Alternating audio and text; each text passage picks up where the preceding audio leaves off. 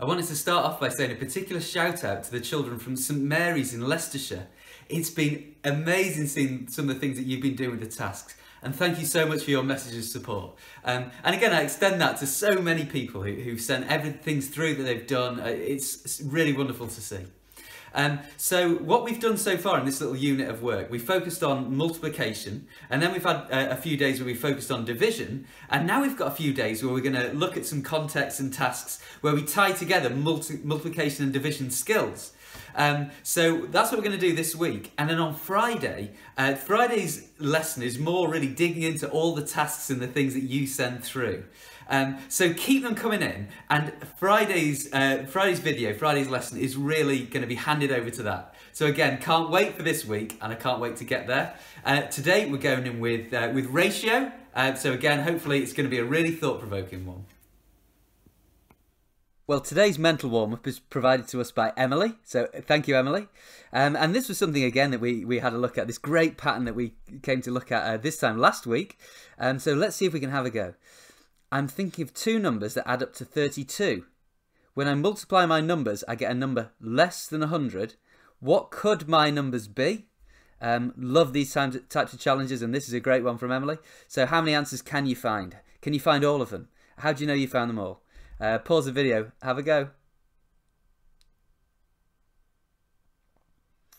Okay, um, I wonder if you found any solutions. So um, here, here, here are three that you could have. So it could be 31 and 1. Multiply 31 and 1, so that they have a sum of 32. Multiply them, the answer of course is 31. 30 and 2, multiply those two together, it'll, it'll be 60.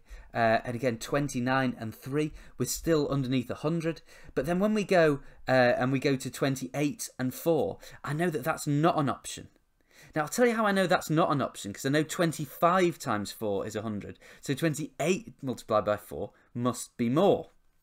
Um, now, I'm going to show you one of the cheeky one you could have. Um, because, of course, I hadn't really opened up the idea that we might not use whole numbers. Well, how about this one? We could have 31.9 and 0.1. So there we go. They, they've got a sum of 32, and if I multiply them together, well, they'd only make 3.19. Thank you, Emily, again. A great way to get us started today.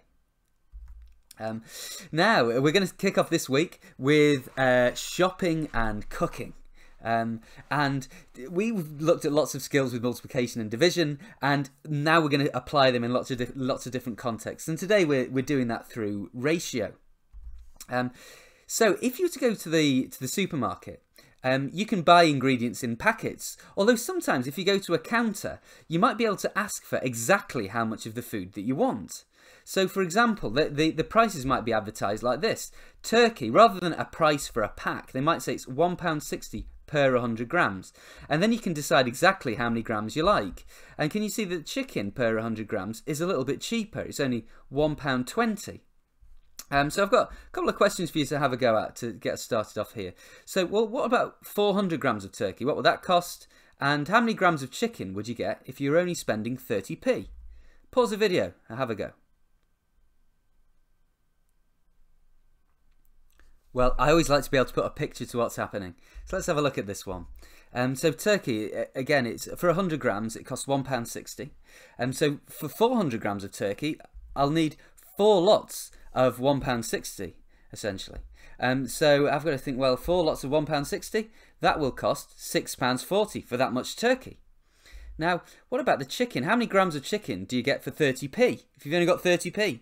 Um, so, well, I know £1.20 you get 100 grams. So I've got to think, well, what about for 30p?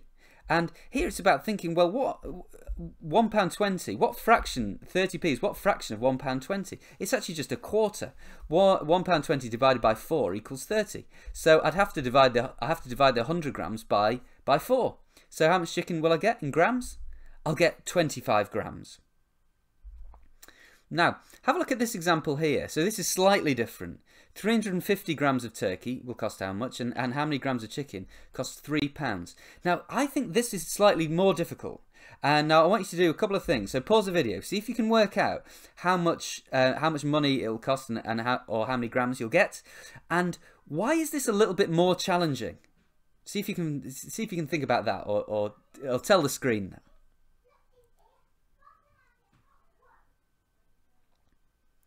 Okay, well, let's have a look. And, and again, this time I'm going to show some workings uh, here. So 350 grams of turkey. Well, if I'm going to work that out, well, I know 100 grams is £1.60. But I can't just multiply up now lots of 100 because I wouldn't actually get, of course, the 350 grams. So I've got to do a couple of, there's a few things I could do. But let's say I could work out, well, 50 grams is going to be half of 100 grams. That's 80p. And then I could work out, well, how much is 300 grams? Well, of course, it is three lots of 100 grams. And now I'm in a position where I can work out 350 grams, uh, £5.60. Um, now, again, here, 100 grams uh, of chicken costs £1.20. So 200 grams of chicken costs £2.40. I can't just have another lot of 100 grams because then I'll be adding on too much money. So I've got to think, well, 60p. Um, how much? How many grams of chicken would I get for 60p? Well, that, of course, is half of £1.20. So it'll be another 50 grams. In total, £3. Now, have a look at these questions here. You might be able to work out the answers, or you might just be able to rank the questions by difficulty. What makes them slightly easier, which makes another question slightly harder? Can you explain that? So you might be able to work out the answers to do that. You might not know, you might be able to work out some of them, but rank the questions by difficulty. Which one's hardest, which one's easiest?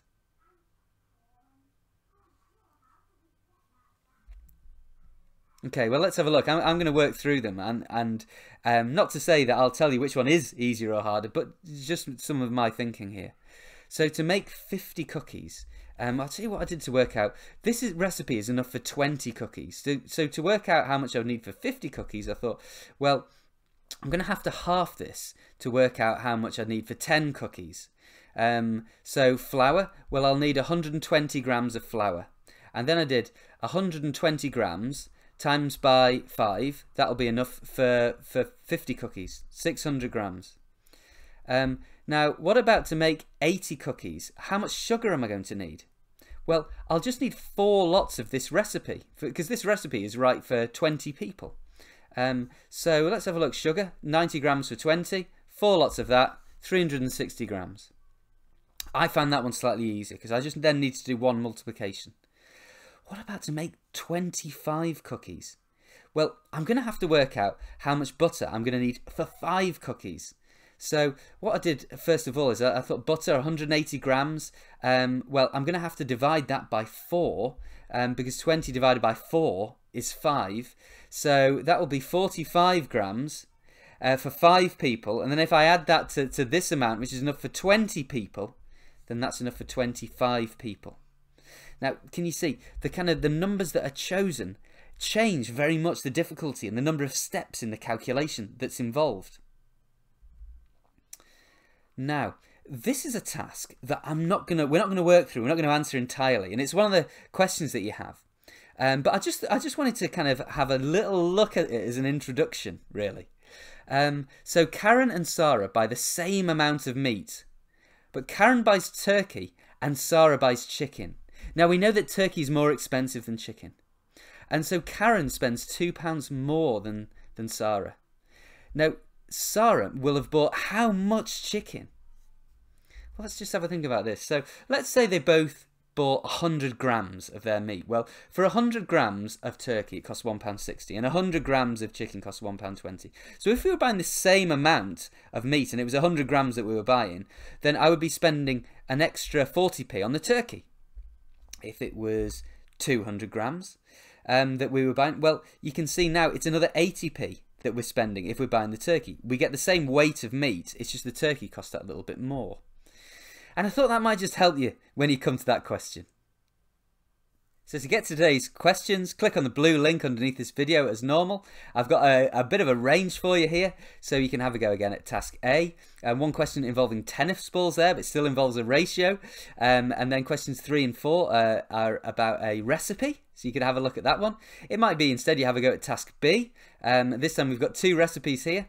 And for the extend task, um, so this is a, a, recipe that I want you to use, and I want you to see if you can design a question that involves this recipe. Now, again, I would love to use the question that you design as part of the work that we're going to do on Friday's video, when we're going to do a kind of a bit of a recap of everything. Uh, the answers are at the bottom, uh, just like normal. Um, I hope you enjoy these challenges, and again, well done for, for logging in. I'm going to see you again tomorrow.